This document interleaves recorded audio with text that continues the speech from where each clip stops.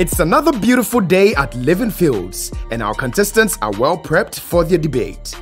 But before we dive into the heat of the moment, let's go check out how they're doing on their farms. As we saw in previous episodes, some groups already gave up after facing some challenges, and others claimed to have harvested, which our judges found it a bit disturbing. Let's go check on our last two standing plots. Let's join our blue team as they control the weed on the plot.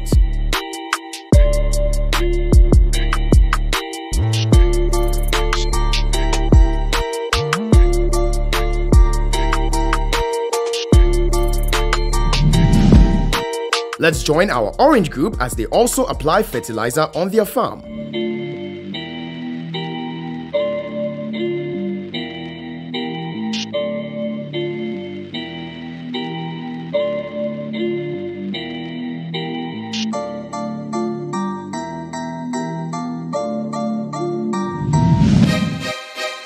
Our judges are seated and ready to assess their take on the topic of the day, which is genetically modified foods are a threat to the world food economy. Okay, so uh, welcome everybody uh, to this debate competition here at the Living Fields. Uh, the, the population of the world is increasing, and so we expect that food productivity or food production can equally increase. Now, agriculture as a sector is a leading uh, player in producing food to feed our populace. However, looking at how population is increasing, there's been a global challenge on meeting food supply. Now, there's been various schools of thoughts on how to meet this challenge with the introduction of genetically modified foods. Now, with this, there's been different schools of thought arguing for and against. So, today, each team would have seven minutes each of presentation. Uh, seven minutes for the main speaker, seven minutes for the supporting speaker, and seven minutes for the concluding speaker. May the best team win. We have the blue team speaking for the motion and the green team speaking against the motion. And so, shall we welcome our proposition speaker?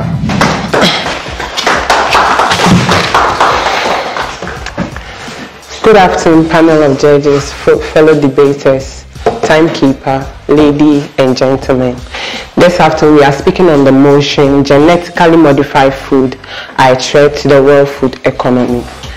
According to Wikipedia, genetically modified food, also known as GM foods, these are food produced from organisms that have changes introduced into their DNA using a method of genetic engineering. Now, these food produced from GM organisms are often referred to GM food. Now, at present, there are several GM crops used as food source. Some of them are GM corn, GM rice, wheat, GM soya beans, oil, sugar, just to mention a few. Now, why are we saying that genetically modified food are a threat to world food economy.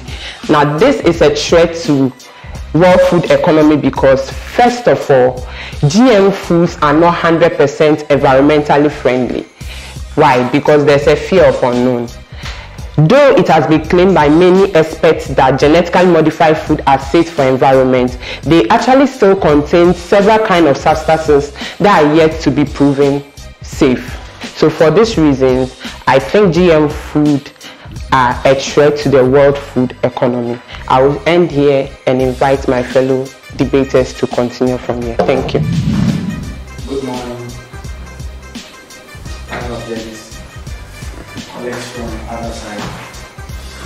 My name is Daniel, and I'm representing 1. GMO food are not risky as compared to traditional crops. They always say that but they have no empirical evidence. And even if they have, it sounds pukupukus because there's no way that it has been proven that GMO foods are not good. Secondly, in terms of nutrition, sometimes, or most of the times, most of the crops, traditional crops we grow, they don't have certain micronutrients. So, with uh, GMO food, they introduce what we call provate vitamins A, and these will rather prolong the lives of people and then help to even decrease aging. In 10 years' time to come, we are not going to have these debates because now more people are educated.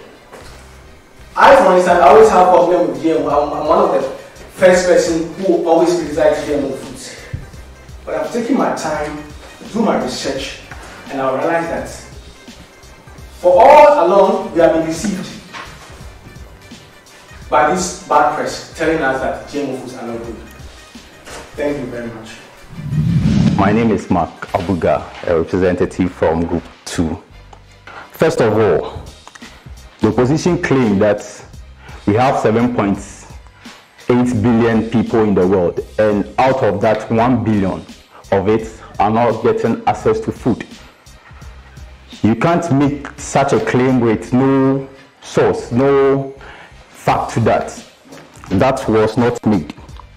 A research was made by Jack Heinemann, a New Zealand genetic scientist, in 2018. He was actually comparing genetically modified corn and soybean from US, which is a country that has embraced genetically modified food, and non-genetically modified corn and soybean from EU. He realized that doing a catalog of both at the end of the year, there was not so much uh, higher yield from US than the euro. So the assertion trying to proclaim that GM mod, uh, genetically modi- modified food are actually going to produce higher yields than the ones we are already using is actually false. Or last but not the least, food supply at risk. As now, there has been claims that yes, genetically modified food are going to provide a lot of food for the world and those states. Genetically modified food are patented, they are trademarked, they are acquired legally. You have to sign contracts with those companies before you can get access to it. Naturally, they are trying to tell us that they are creating monopoly for specific companies who only have to control the world's economy just as you rightly said, 7.8 billion people in the world. And we are only going to depend on this selected few companies to as our source of uh, food. It is not safe. So based on this uh, points that have been raised, we, we still stand by the point that genetically modified food are a threat to world food economy. Thank you. My name is John Doe, and I'm representing Group 1. And I'm here to rebut on all that uh, the opposition said. Uh, there, there is no scientific backing that GMO can cause all that my opponent said.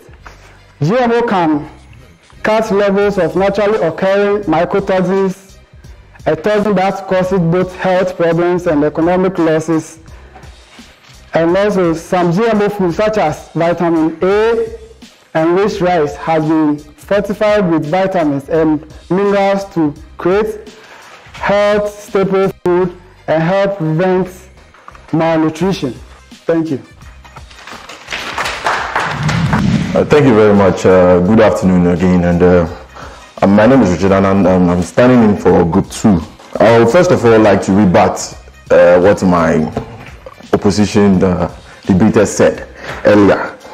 Um, they kept saying that uh, there is a proof that GMO cannot affect the human health. But they never stated where they got that information from. Move on to the second point, which is that there can also be a conflict between a buyer and a manufacturer because there can be an abrupt increase in price of manufactured items. We know that GMOs are very expensive. My, my, my, my brother from the opposition said that they are excessively expensive. And that can affect food supply. That can affect food supply because it's going to get to a point where the buyer is not going to buy the food again, and so the client or the customer, consumer is not going to get food to buy. We would like to end our debate here. Thank you very much for your audience, and God bless all. Amen. Amen. I'm. I speak against the motion GMOs foods are a threat to the world's food economy. GMOs or no GMO, there's the use of glyphosate. Okay, to the our conclusion. For scientists, GMOs are not only solution for food security, but they are an important one. Combined with improved farming conditions, better use of water, reducing waste, GMOs can help to create better food options.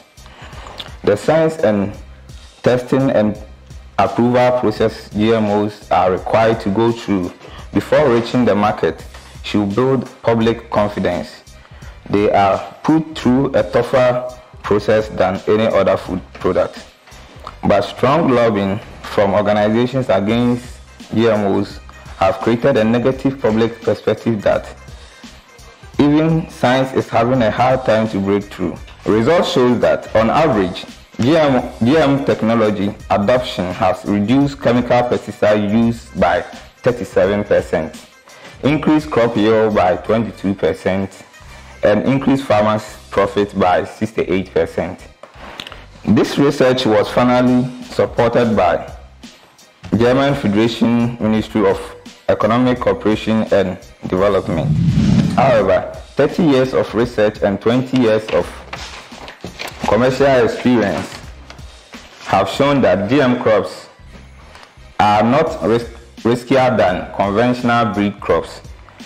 This, concludes, this conclusion was drawn by the World Health Organization, Union of German Academies of Science, British Academy of Science, British Royal Society, the Mexican Academy, Academy of Science, British Medical Association, and etc.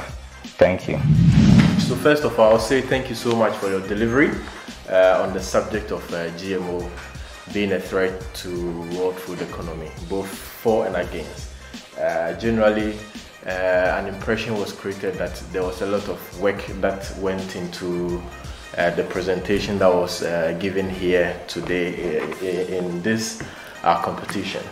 Um, a few observations I made. Um, in the course of the delivery. So the first is that uh, you know we demarcated each person's responsibility.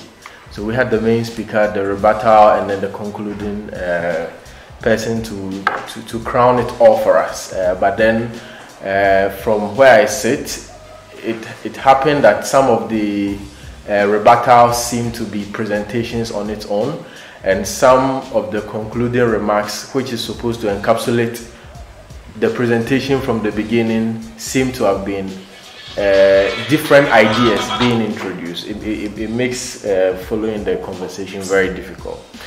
And the second happened to be uh, the delivery of the debate. Uh, there were instances where the presenters were reading instead of presenting to us, and in that respect, it, bring, it doesn't bring out the eye contact that you're supposed to have with the judges or the audience. Uh, and if you're able to present without reading a lot, then it makes your points more convincing because you know with debates it's not just about the speaking, body language, eye contact, all of that count. To highlight more of what he said, the presentation too was to some extent prepared in about three out of four points.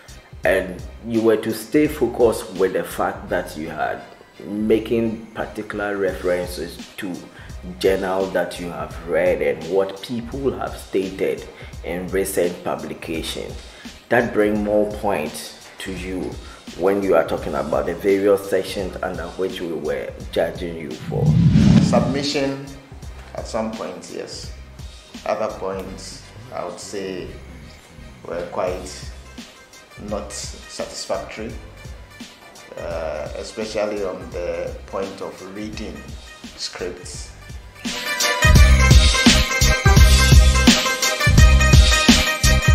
Let's go check out the second round.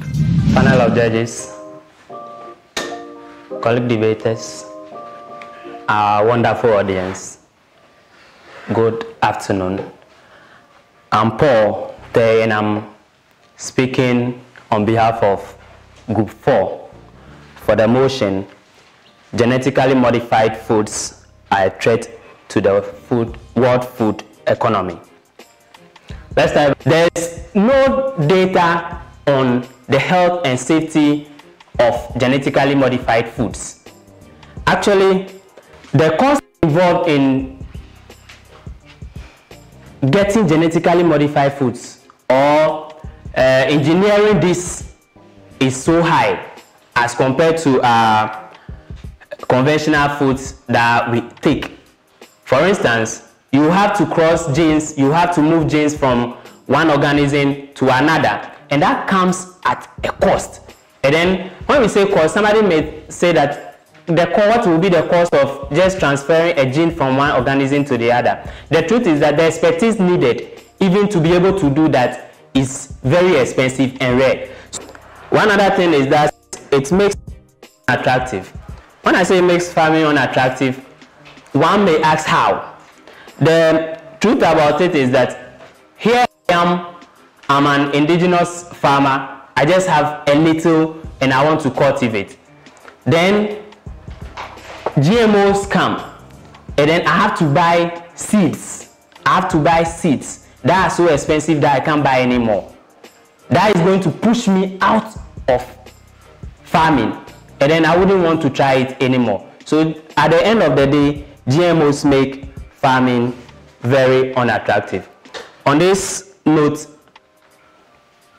I'll say that with the little that has been said, we side with the motion that genetically modified foods are really a threat to the world food economy. Thank you. Good afternoon. My name is Afavi Emmanuel, representing Group 3 and I'm speaking against the motion that genetically modified foods are a threat to the world food economy. The largest falsehood currently in circulation is that GMO represents a threat to our health, our food supply, and then to the environment, which myself and then my group stand strongly against it because we know GMO is the way forward. With the increasing number of years, our population is increasing. And then the earth, as we know, is, is going to be starved of resources, if you agree with me. So, why not produce food to be able to feed this increasing population? Because it will get to a time where this population would need settlement and other infrastructure on this same piece of land. When we can actually genetically modify foods to withstand drought, to withstand the harsh conditions that comes with the increasing global warming. Distinguished panel of judges, it is true that GMO could be cost effective, but come to think of it, if there are several companies producing seeds or other planting material that are genetically modified, wouldn't it rather be cheaper? It would, and this will put monies in the pockets of farmers. So with this, I strongly want to say that we should seriously consider giving GMO a chance because it's the way forward and it is proving to be what is transforming us. Thank you. Good afternoon, Mr. Chairman and panel of judges, um, fellow um, debaters, um, ladies and gentlemen. My name is Enoch, and I'm the supporting debater. I want to hit on a point that were mentioned by my team. GMO are an instrument for corporate control over agriculture. This point is a very serious point that if we don't really take a look at it, it will be very difficult because GMO as it stands now is only controlled by or is owned by only six companies in the world. Secondly, I would like to rebut what the other side raised. Um, the main principal speaker, he said something concerning malnutrition. But we are talking about, I'm dwelling on the cost. So if you have, if you have GMO foods that cost higher, it costs higher, and therefore, uh, even if you should be able to uh, infuse in all this nutrition within it, and it cannot be um, afforded and therefore not consumed, I don't think it is really addressing the issue of malnutrition. I would like to end here by saying that genetically modified foods, it is a real threat to the global food economy based on this point. Thank you. Good afternoon, judges. Good afternoon, ladies and gentlemen. My name is Tepeti, and I'm here to speak against the motion that GMO is a threat to the global food economy. Uh, my opponents here came elaborated on their points, but then the question I want to ask is, what are we trying to achieve here? Are we trying to solve a global issue of food insecurity? If our answer is yes, then I believe we would have to make some very hard choices in order to achieve that result. Is it just to uh, pamper and keep local or conventional farmers in the system? Or our aim here solve a global issue of food insecurity? If the answer is the latter, or is to the latter yes, then I want to say that GMO or genetically modified organisms is the way to go. Conventional food production has been with us over time, and then we are still facing the problem or the challenge of uh, global food insecurity. So if that is the solution or that is the way forward, I don't think we would even have arrived here in the first place. And um, to even start by rebutting what my opponent said about GMO kicking out conventional or indigenous farmers out of the system, then the same argument could also be made because before the introduction of conventional way of farming, there was the organic way of doing it. Here they are coexisting together with none out of the system.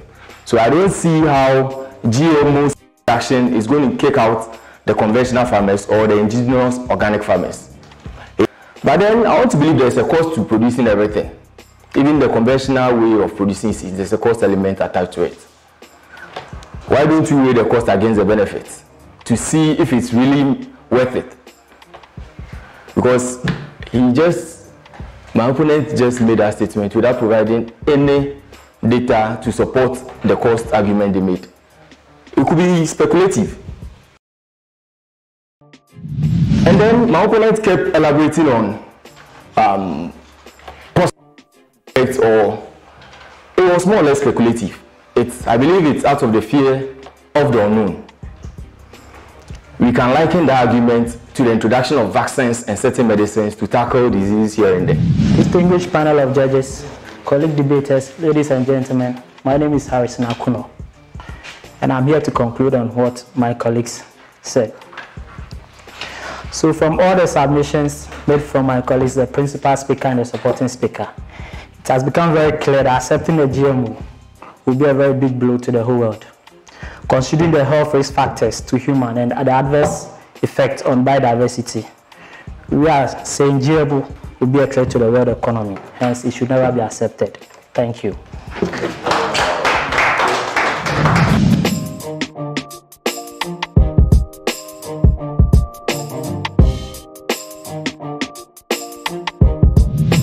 Panel of judges, accurate timekeeper, fellow debater, ladies and gentlemen. My name is Rodana Adoko Anan, and I'm the concluding speaker for my group. From all that have been said, it is clear that GMO isn't a threat to world food security, but a blessing and an opportunity to make more out of our limited resources in enhancing good food and uh, nutrition. Sorry.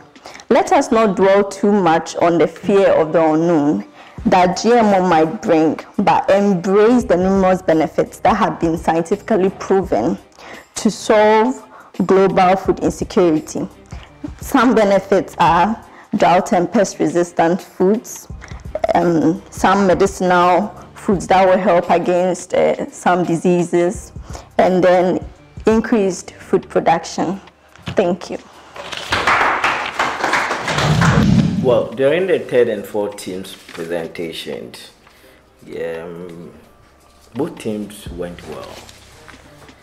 Just for the fact that the concluding speakers, I don't know whether it was like the first two speakers had just used all the water and did not have any water to bathe with. It was as if you did not have any words to say, but to just strategically end up within less than a minute of your presentation.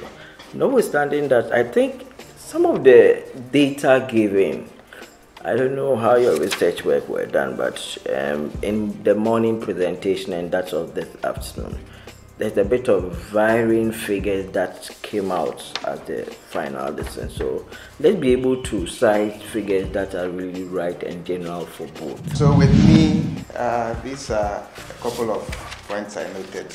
Uh, the points that were made, uh, the presenters were not coordinating their points well. It's like the points were made haphazardly, thrown left, right, center. They were not consistent. So that's one thing I would sound out. Let's take note. Yeah, but I will give a general comment. So it happens that we were tasked to research and come for a debate, okay? And in that respect, the presentation looks so, okay? But how about in the course of our presentation, we tell a story, okay? We don't just talk about what we found on the internet and just dump it into the face of uh, the judges. But then we tell a story out of whatever claims we are making. How about we starting our presentation by talking about malnutrition in Africa and how you know children and people in Africa are living under one dollar a day. How about citing some other instances of farming and talking about how that is going to impact on food security. I believe if we make it that way, it, it, it convinces the audience the more.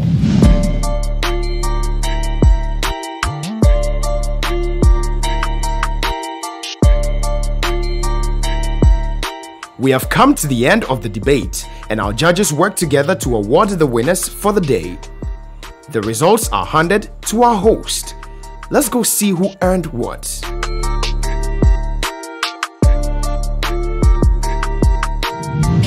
All right, contestants, congratulations to all of you. The results are in. So, the team that came in with 56.5 over 90 had 62.7%. That was the last team. The team that came third with 50 59.5 over 90 with 66.11% was the third team. The team that came second with 62 over 90, making 68.88% second team. And the first team with a whooping 72 over 90, making 80% won the competition. So, so the fourth group is group one with 62.70%. The third group is group four with 59.5 over 90, making 66.11%. The second group is group 3 with 68.88%. And the group that won this debate competition ah, is group 2 with 80%. So this is the Living Fields Agri Show still continues. Keep watching us, keep following us. Have a good night. Thank you. Thank you.